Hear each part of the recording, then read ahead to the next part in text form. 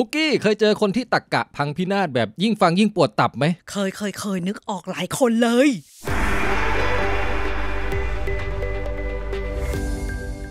ตักกะวิบัติหรือว่าฟาเลซี่เนี่ยนะครับ มันจะทำให้คนเราเชื่ออะไรผิดๆ มันมีหลายประเภทมากเลยนะ วันนี้เราลองมาดูตัวอย่างกันสัก 5 ข้อกันแล้วกัน พร้อม ไปค่ะน้ำบาวันข้อแรกเนี่ยเขาเรียกว่า appeal to tradition หรืออ้างประเพณี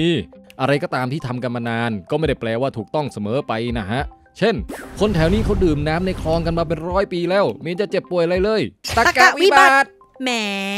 ก็คลองสมัยนี้มันสะอาดเหมือนร้อยปีก่อนไหมล่ะ เหมือนอันนี้ด้วยสินะ จังหวัดเราจัดงานโคมลอยกันมาตั้งแต่โบราณแล้ว มันไม่อันตรายอะไรหรอกตักกะวิบัติ สมัยนี้ในบ้านเมืองอยู่กันหนาแน่นกว่าแต่ก่อน ถ้าเกิดยังยึดประเพณีแบบเดิมอะ ก็อาจจะกลายเป็นเทศกาลวางเพลิงได้นะครับ จะตกลงไปไหม้บ้านใครเมื่อไหร่ก็ไม่รู้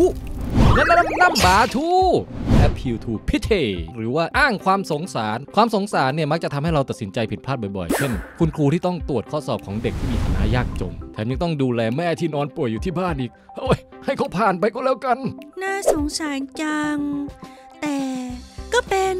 ตักกะวิบัติ หรือตำรวจที่เจอโจรสาวท้องแก่ สุดท้ายก็ยอมปล่อยไปตักกะวิบัติ เรื่องแบบนี้ก็ได้ยินบ่อยเหมือนกันนะ แบบพวกลูกขุนในศาลอะไรอย่างเงี้ย หรือแม้แต่ตัวผู้พิพากษาก็เหอะ มันก็คงเป็นเรื่องลำบากใจอะนะ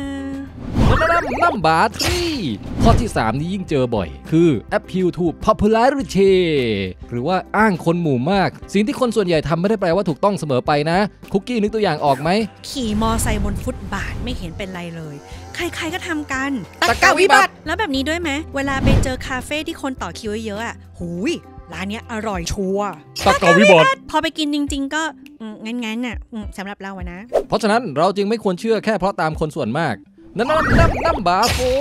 ข้อต่อไปนี่ก็อีกแบบเรียกว่า hasty generalization หรือว่าด่วนสรุปเหมารวมนั่นเอง หมายถึงเวลาที่เราได้เจอประสบการณ์แค่นิดหน่อย เราก็เหมารวมไปแล้วว่าทั้งหมดจะต้องเป็นแบบนั้น เช่น ไปเที่ยวภูเก็ตมา 2 วันเจอฝนตกตลอดไอ้ภูเก็ตนี่ไม่น่าเที่ยวเลยตรรกะวิบัติ อันนั้นเขาเรียกดวงไม่ดี หรือเห็นเพื่อนชาวเกาหลีสองคนชอบกินทุเรียน แสดงว่าคนเกาหลีชอบกินทุเรียนแน่เลยตรรกะวิบัติ เพื่อนคงรู้สึกเป็นเกียรติมาก ได้เป็นตัวแทนประเทศ Number five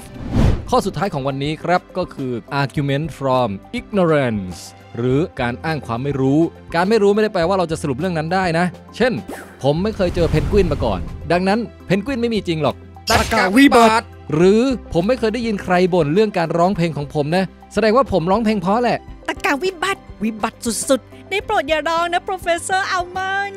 ในตอนหน้าเราจะพูดถึงข้ออื่นๆกันต่อนะครับ ใครมีตัวอย่างตักกะวิบัติแบบไหนก็ลองคอมเมนต์กันเข้ามาได้นะ แล้วก็ขอฝากไว้อีกข้อที่ชื่อว่า post hoc fallacy ซึ่งเราได้เล่าไว้อย่างละเอียดในซีซั่นหนึ่งลองย้อนกลับไปดูกันได้นะครับ มาสร้างภูมิคุ้มกันตะกะวิบัติไปด้วยกันนะคะทุกคน